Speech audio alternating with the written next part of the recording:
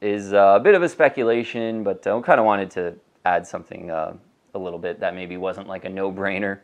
But it's uh, Earth 2, number 19 in a 9-8, the first appearance of Val-Zod, Superman. So, you know, DC is just, I don't know what they're doing, but I just think it's a, almost a crime that they haven't come out with like self-titled Val-Zod books. Like, you know, this book came out in a similar time to Miles Morales, and there's been like a ton of Miles Morales self-titled books, and they're they've given Miles Morales such a push in the comic books, and now he's in pop culture and all these movies.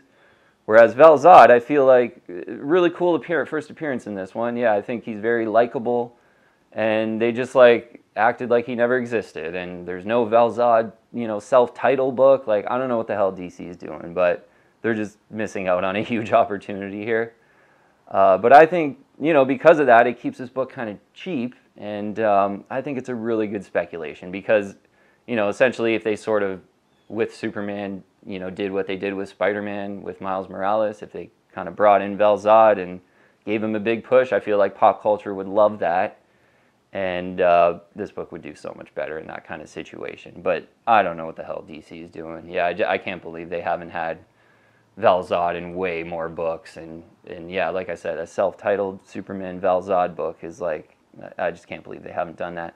Uh, but uh, pretty great collector item on this one yeah, maybe it's a little bit low, lower printed, this Earth 219. I'm not too sure. I wasn't really collecting during when, when this book came out. I'm not too sure how uh, popular it was. But uh, 141 9.8 in the blue label, 42.3% the 9.8 ratio. So a 1 of 141 is a pretty great one.